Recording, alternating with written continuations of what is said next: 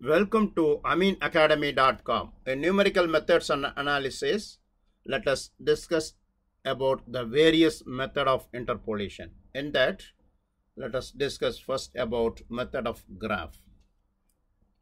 We can easily plot a graph between the value of x and the corresponding value of y that is f of x and then with the help of the graph we can find the unknown value of f of x for given value of x. This method is illustrated in the following example. Look at this example.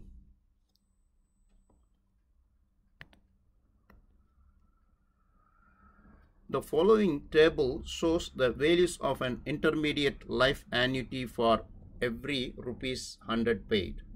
Age in years 30, 40, 50, 60, 70, 80 and annuity in rupees is 5.25, 6.25, 7.25, 9.5, 12 and 13 rupees. Interpolate annuity at the age of 45 years. Now let us plot the graph for the given datas. Look at this graph. Here the age is given in terms of x-axis and annuity in rupees given in y-axis. Here look at this uh, table values. For age 30 it is 5.25. For age 30 it is 5.25 here because each small division have 0.25 and for 40 6.25 for 40 it is 6.25 for 50 is 7.25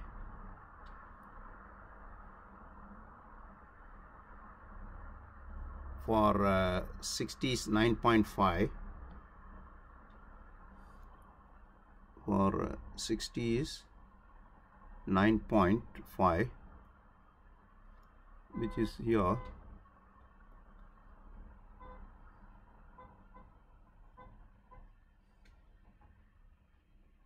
for 70 is 12 for age of 70 is uh, 12 for uh, age of 80 is uh, 13 suppose age of 18 is here is 13 now let us join this curve with uh, smooth curve like uh, you can join with other color.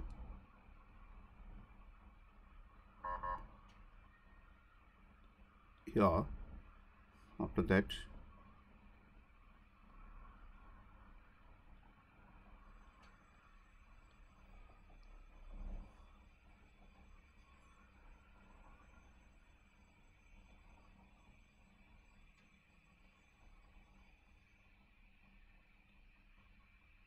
this is the our uh, curve in approximator of here.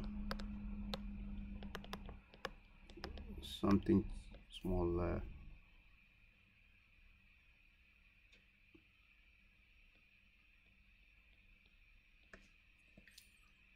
this rough sketch only. This is the graph of the given points. Now but we have to find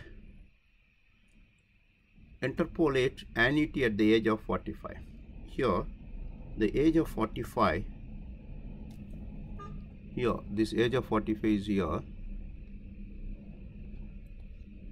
Now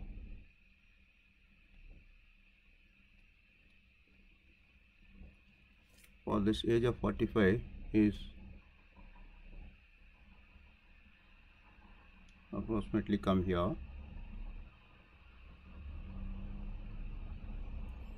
Here each uh, division here 6.25 6.5 6.75 6.8 therefore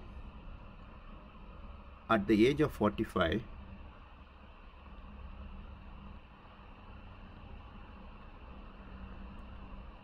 45 years the annuity equal rupees is uh, 6.8 approximate 6.8 rupees. Means that uh, annuity at the age of 45 equals 6.8 rupees approximately we found. We have done. Please subscribe our youtube channel